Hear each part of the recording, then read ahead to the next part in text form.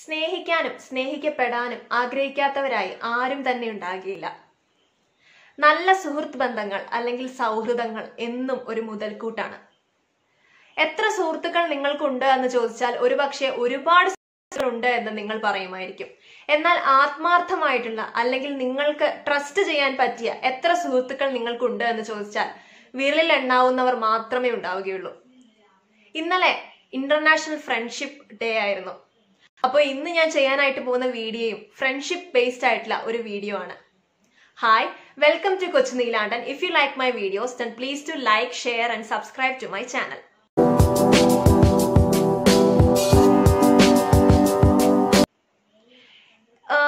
നിങ്ങൾ കണ്ടതിൽ വെച്ചിട്ട് നിങ്ങൾ കണ്ടതിൽ വെച്ചിട്ട് ഏറ്റവും നല്ല ഒരു സുഹൃത്ത് ബന്ധം ആരുടെ ആയിരുന്നു എന്ന് എന്റെ അടുത്ത് നിസ്സംശയം എനിക്ക് പറയാൻ പറ്റിയ ഒരു സുഹൃത്ത് ബന്ധമുണ്ട്.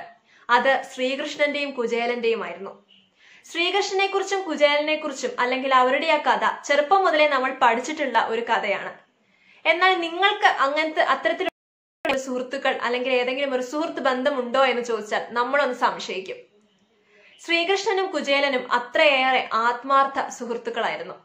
ഗുരുകുല വിദ്യാഭ്യാസമെല്ലാം അവർ ഒരുമിച്ചാണ് അവർ ഒരുമിച്ചാണ് ഫിനിഷ് ചെയ്തത്. ശ്രീകൃഷ്ണൻ മധുരയിലെ രാജാവായി പിന്നീട്.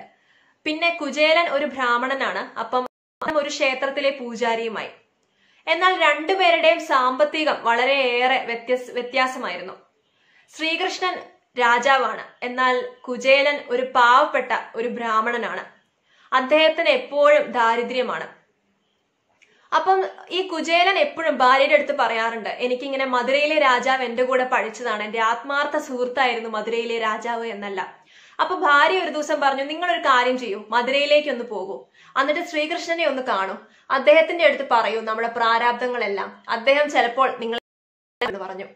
അപ്പം കുചേരൻ പറഞ്ഞു എന്നെ എന്തായാലും കൃഷ്ണൻ ഓർക്കുന്നുണ്ടാവില്ല.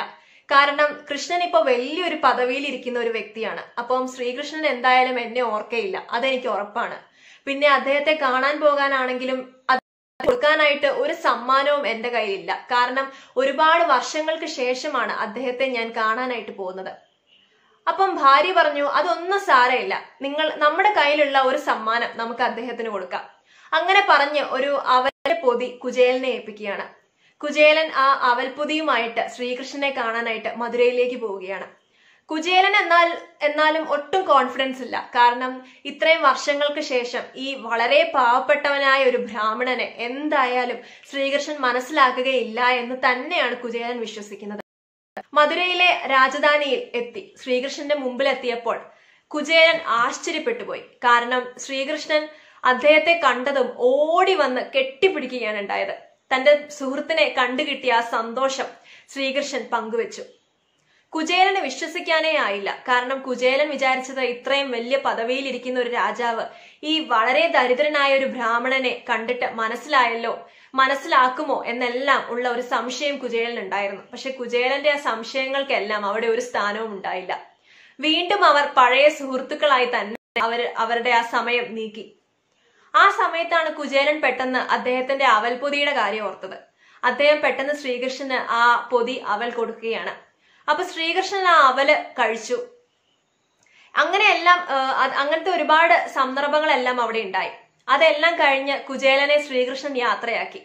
കുചേലൻ വീട്ടിലേക്ക് ചെന്നപ്പോൾ വീടിരിക്കുന്ന ആ സ്ഥലത്ത് ഒരു വലിയ മാളികയാണ് ഉണ്ടായത്. അങ്ങനെയാണ് ആ കഥ പിന്നെ അങ്ങോട്ട് പോകുന്നത്. അങ്ങനെ കുചേലനെ ശ്രീകൃഷ്ണൻ സഹായിക്കുകയാണ് ചെയ്തത്. തന്റെ ഉത്തമ സുഹൃത്തിനെ എങ്ങനെയെങ്കിലും സഹായിക്കണം എന്നുള്ള ശ്രീകൃഷ്ണന്റെ ആ മനസ്സ് ഇപ്പോഴത്തെ സൗഹൃദ ബന്ധങ്ങളിലെല്ലാം ഉണ്ടോ എന്ന് എനിക്ക് ചെറുതായിട്ട് ഒന്ന് സംശയമുണ്ട്. കാരണം നമ്മുടെ എല്ലാം സൗഹൃദ ബന്ധങ്ങൾ വളരെ കണ്ടീഷണൽ ആയിട്ടുള്ള ഫ്രണ്ട്ഷിപ്പ് ആണെന്നാണ് എനിക്ക് തോന്നുന്നത്. ഇപ്പോഴത്തെ ഫ്രണ്ട്ഷിപ്പ് എല്ലാം. അൺകണ്ടീഷണൽ ആയിട്ടുള്ള ഇത്തരത്തിലുള്ള ശ്രീകൃഷ്ണ കുചേലന്റെ രീതിയിലുള്ള ഒരു ഫ്രണ്ട്ഷിപ്പ് ഒന്നും ഇപ്പോൾ ഉണ്ടോ എന്ന് എനിക്ക് സംശയമുണ്ട്. പക്ഷെ എന്നാലും അത്തരത്തിലുള്ള ഒരു അൺകണ്ടീഷണൽ ഫ്രണ്ട്ഷിപ്പ് ഞാൻ പിന്നീട് ഒരാൾ പറയുന്നത് കേട്ടിട്ടുണ്ട്. അത് ഡോക്ടർ ആർ ശ്രീനിവാസൻ എന്ന് പറഞ്ഞ ഒരു സാറാണ്. അദ്ദേഹത്തിന്റെ സ്നേഹസ്പർശം എന്ന് പറഞ്ഞ ഒരു പുസ്തകത്തിൽ അദ്ദേഹം ഇതുപോലത്തെയുള്ള രണ്ട് സുഹൃത്തുക്കളെ കുറിച്ച് പറയുന്നുണ്ട്. ഒരാളുടെ പേര് ബാബു എന്നും ഒരാളുടെ പേര് വാജി അഹമ്മദ് എന്നുമാണ്. ബാബു അദ്ദേഹത്തിന്റെ ബാല്യകാല സുഹൃത്താണ്. അവർ ഒരുമിച്ചാണ് സ്കൂളിൽ പഠിച്ചത്. ഞാൻ ബാബുവിന്റെയും അദ്ദേഹത്തിന്റെയും സൗഹൃദ ബന്ധത്തെക്കുറിച്ച് പറയാനായിട്ട് ഒരു കുഞ്ഞ് ഇൻസിഡന്റ് ഒന്ന് വിവരിക്കാം. അതിങ്ങനെയാണ്. ഒരു ദിവസം ശ്രീനിവാസൻ പുസ്തകം കൊണ്ടുവന്നില്ല. അപ്പം ടീച്ചർ അദ്ദേഹത്തെ പുറത്തു നിർത്തി.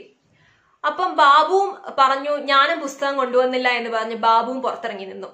അപ്പൊ ശ്രീനിവാസൻ ബാബുവിനോട് ചോദിച്ചു നീ പുസ്തകം കൊണ്ടുവന്നാണല്ലോ ഞാൻ കണ്ടതാണല്ലോ നിന്റെ ബാഗിൽ ഈ പുസ്തകം ഇരിക്കുന്നതെന്ന്? അപ്പം ബാബു ശ്രീനിവാസിന്റെ അടുത്ത് പറഞ്ഞത് ഇങ്ങനെയാണ്. നീ കണ്ടേക്കും പക്ഷേ എനിക്ക് നീ ഇല്ലാതെ ആ ക്ലാസ്സിൽ ഇരിക്കാൻ പറ്റില്ല. പിന്നെ അത് മാത്രമല്ല എനിക്ക് എനിക്ക് ഒരു പീരീഡ് അല്ലേ പോവുള്ളൂ അത് സാരമില്ല. പക്ഷേ എനിക്ക് നീ പുറത്ത് നിൽക്കുന്നത് കാണാൻ ഒട്ടും എനിക്ക് നീ പുറത്ത് നിൽക്കുന്നത് കാണാൻ ഭയങ്കര വേദനയാണ്. എനിക്ക് ഒട്ടും സഹിക്കാൻ പറ്റുന്നില്ല അത് എന്നാണ് പറഞ്ഞത്. അപ്പൊ അത്തരത്തിലുള്ള ഒരു അൺകണ്ടീഷണൽ അൺകണ്ടീഷണൽ ഫ്രണ്ട്ഷിപ്പ് ആയിരുന്നു ബാബുവിന്റെയും ഈ കെ ശ്രീ ആർ ശ്രീനിവാസന്റെയും. പിന്നെ വാജി അഹമ്മദിനെ കുറിച്ച് പറയാനാണെങ്കിൽ രസകരമായിട്ടൊരു കഥയാണ്. മണ്ണൂത്തി വെറ്റിനറി കോളേജിൽ ശ്രീനിവാസനും വാജി അഹമ്മദും പഠിക്കുകയാണ്. അവർ കൊളീഗ്സ് ആയിരുന്നു. അപ്പൊ വാജി അഹമ്മദ് ഒരിക്കൽ ശ്രീനിവാസിന്റെ അടുത്ത് വന്നിട്ട് പറഞ്ഞു അവരെപ്പോഴാണ് സുഹൃത്തുക്കളായതെന്ന് അദ്ദേഹം ഓർക്കുന്നില്ല എന്നാണ് പറഞ്ഞത്. അപ്പൊ വാജി അഹമ്മദ് ഒരിക്കൽ ശ്രീനിവാസിന്റെ അടുത്ത് വന്നിട്ട് പറഞ്ഞു എനിക്ക് ഞാൻ പഠിക്കുന്ന ചാപ്റ്റേഴ്സ് ഒക്കെ എനിക്ക് ഭയങ്കര ബുദ്ധിമുട്ടാണ്. എനിക്ക് അതൊന്നും മനസ്സിലാവുന്നില്ല. അപ്പം നീ എന്നെ ഒന്ന് സഹായിക്കണമെന്ന് പറഞ്ഞു. വാജി അഹമ്മദ് ഇസ് ഫ്രം കാശ്മീർ ശ്രീനഗറിൽ നിന്നാണ് അദ്ദേഹം വരുന്നത്. നമ്മുടെ മണ്ണൂത്തി വെറ്റിനറി കോളേജിൽ പഠിക്കുന്നത്. അപ്പം ശ്രീനിവാസൻ പറഞ്ഞു ശരി നിനക്ക് ഇങ്ങനെ ടഫ് ആണെങ്കിൽ ഞാൻ നിന്നെ ഹെൽപ്പ് ചെയ്യാം എന്ന് പറഞ്ഞു. അങ്ങനെ എന്നും നാലു മണിക്ക് വാജി അഹമ്മദ് വന്ന് ഈ ശ്രീനിവാസിനെ വിളിക്കും. എന്നിട്ട് പറയും മടിയ എണീക്ക് എന്നെ പഠിപ്പിച്ചതാ എന്ന് പറഞ്ഞ് ശ്രീനിവാസൻ വാജി അഹമ്മദിനെ പഠിപ്പിച്ചുകൊണ്ടേയിരിക്കും. അങ്ങനെ വാജി അഹമ്മദ് ഇടയ്ക്ക് പറയാറുണ്ട് ഈ ചാപ്റ്റർ ഒന്നും എനിക്ക് മനസ്സിലാവുന്നില്ല എന്റെ തലേ കയറുന്നില്ല എന്ന് പറയുമ്പോൾ ശ്രീനിവാസൻ പിന്നെയും പിന്നെയും ആ ചാപ്റ്റേഴ്സ് എല്ലാം വാജി അഹമ്മദിന് വീണ്ടും വീണ്ടും പഠിപ്പിച്ചു കൊടുക്കും. എക്സാംസിന്റെ എക്സാം എല്ലാം കഴിഞ്ഞു റിസൾട്ട് വന്നു. റിസൾട്ട് വന്നപ്പോൾ ശ്രീനിവാസിന് നല്ല മാർക്കുണ്ട് വാജി അഹമ്മദിന് തൊണ്ണൂറ്റിയഞ്ച് ശതമാനം മാർക്കുണ്ട് അപ്പൊ ശ്രീനിവാസൻ ചോദിച്ചു നീ പറഞ്ഞാൽ നിനക്കൊന്നും മനസ്സിലായിട്ടില്ല എന്നല്ലേ? എന്നിട്ട് നിനക്ക് തൊണ്ണൂറ്റിയഞ്ച് ശതമാനം മാർക്കുണ്ടല്ലോ ഇതെങ്ങനെയെന്ന് ചോദിച്ചു. അപ്പൊ വാജി എനിക്ക് മനസ്സിലാവാഞ്ഞിട്ടൊന്നുമല്ല. നീ ഉഴപ്പുന്നത് ഞാൻ ശ്രദ്ധിച്ചു. എന്നാൽ നല്ലൊരു സുഹൃത്ത് മറ്റൊരു സുഹൃത്തിനെ സഹായിക്കുകയാണ് വേണ്ടത്. അപ്പോ നീ ഉഴപ്പുന്നത് കണ്ടപ്പോ എനിക്ക് സഹി സഹിച്ചില്ല. അതുകൊണ്ടാണ് നിന്നെ ഞാൻ വീണ്ടും വീണ്ടും ഇരുത്തി പഠിപ്പിക്കാൻ ശ്രമിച്ചത്. അപ്പൊ എന്നെ പഠിപ്പിക്കണം എന്ന് പറയുമ്പോൾ നീ കുറച്ചും കൂടെ ക്യൂരിയസ് ആവുമല്ലോ എന്ന് വിചാരിച്ചിട്ടാണ് ഞാൻ എനിക്കൊന്നും മനസ്സിലായിട്ടില്ല എന്ന് പറഞ്ഞത്. അപ്പൊ അത്തരത്തിലുള്ള ഒരു സുഹൃത്ത് ബന്ധമാണ് വാജി അഹമ്മദും ശ്രീനിവാസനും തമ്മിലുണ്ടായത്. ഡോക്ടർ ആർ ശ്രീനിവാസൻ സാർ പറയുന്നത് ഇത്തരത്തിലുള്ള രണ്ട് സുഹൃത്ത് ബന്ധങ്ങളെ കുറിച്ചാണ് അതുപോലെ നിങ്ങൾക്കും പറയത്തക്ക എന്തെങ്കിലും ഒരു സുഹൃത്ത് ബന്ധങ്ങൾ ഉണ്ടോ നിങ്ങളുടെ ജീവിതത്തിൽ? ഉണ്ടെങ്കിൽ തീർച്ചയായിട്ടും ഈ ഫ്രണ്ട്ഷിപ്പ് ഡേയിൽ അത് കഴിഞ്ഞു പോയ ഫ്രണ്ട്ഷിപ്പ് ഡേ പക്ഷെ എന്നാലും അത് സാരില്ല ഈ ഫ്രണ്ട്ഷിപ്പ് ഡേയിൽ ആ സുഹൃത്ത് ബന്ധങ്ങളെ കുറിച്ച് ആ സുഹൃത്ത് ബന്ധങ്ങളെല്ലാം ഒന്ന് പൊടി തട്ടിയെടുക്കും. പഴയ നിങ്ങളുടെ ബാല്യകാലത്തിലുള്ള സൗഹൃദങ്ങളായിരിക്കാം. അപ്പോ അതെല്ലാം പൊ- പൊടി തട്ടിയെടുക്കും. ഇത്തരത്തിലുള്ള മെമ്മറി ഫ്രണ്ട്ഷിപ്പ് നിങ്ങൾക്ക് ഉണ്ടെങ്കിൽ തീർച്ചയായിട്ടും എന്റെ ഈ വീഡിയോയുടെ താഴെ നിങ്ങളൊന്ന് കമന്റ് ചെയ്യണം. അപ്പം നമുക്കിനി കൺക്ലൂഡ് ചെയ്താലോ? അൺകണ്ടീഷണൽ ഫ്രണ്ട്ഷിപ്പ് ആണ് എപ്പോഴും നിലനിൽക്കുകയുള്ളൂ. പണത്തിന് വേണ്ടി അല്ലെങ്കിൽ പ്രൗഢിക്ക് വേണ്ടി അല്ലെങ്കിൽ പ്രതാപത്തിന് വേണ്ടി ഫ്രണ്ട്സ് ആവുന്നവരുണ്ട്. എന്നാൽ അതൊന്നും നിലനിൽക്കുന്നതല്ല.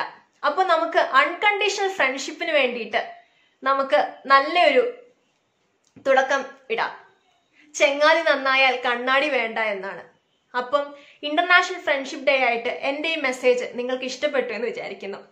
നാളെ ഞാൻ നല്ലൊരു വീഡിയോ ആയിട്ട് വരാം. Till then bye